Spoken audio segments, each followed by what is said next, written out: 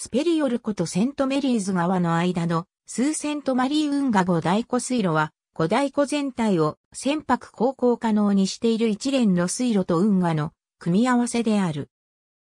主な人工的な構成要素は、オンタリオ湖とエリー湖の間で、ナイアガラの滝を迂回する、ベランド運河と、スペリオル湖とヒューロン湖の間のスーセントマリーにある、セントマリー川の急流を迂回する、スーセントマリー運河である。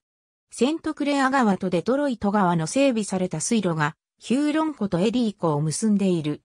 アメリカ沿岸警備隊の砕氷船が冬の大半の期間を通じて水路を維持するために活動しているが、それでも毎年2ヶ月から3ヶ月にわたって船の運航は停止される。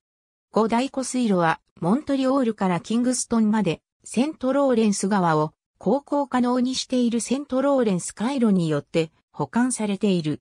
この二つの水路を合わせてしばしばセントローレンス海路と呼ばれる。セントローレンス海路より五大湖水路の方が、より大きく深い閘門を備えており、結果として五大湖水路を通じて運航することはできるが、セントローレンス海路を通じて運航することができない大きさの貨物船は五大湖に閉じ込められることになる。五大湖水路はカナダとアメリカ合衆国により共同で管理されている。ありがとうございます。